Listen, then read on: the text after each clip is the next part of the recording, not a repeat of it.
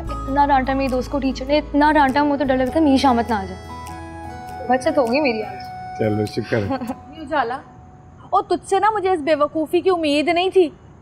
और तूने तो कहा था कि वो रिश्ता लेकर आ रही हैं। बिला वजह मैंने इतनी तैयारी श्यारी की। मैंने कुछ गलत तो नहीं बोला अम्मा।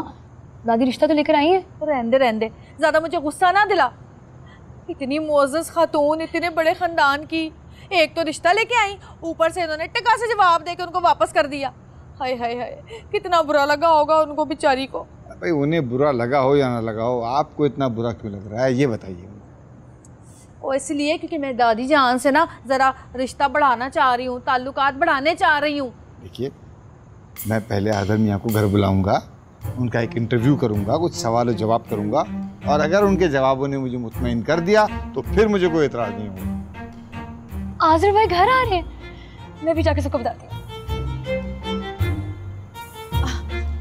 अच्छा मुझे ये बताएँ कि क्या सवाल करेंगे आप आज़र से?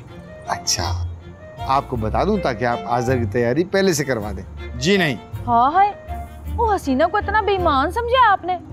नहीं बताएँ वो मुझे तो यकीन है आज़र ने ना सौ फ़ीसद पास ही होना है। वो बड़ा बीबा बच्चा है माशाल्लाह से हाँ। अच्छी बात।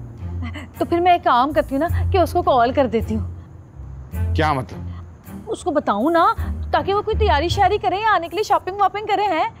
कोई फ़ोन वोन नहीं करना है। मैं आपको एक दो रोज़ में सोच के बताऊँगा वक्त। फिर उसे बुलाएँगे। अब इसमें क्या सोचना है?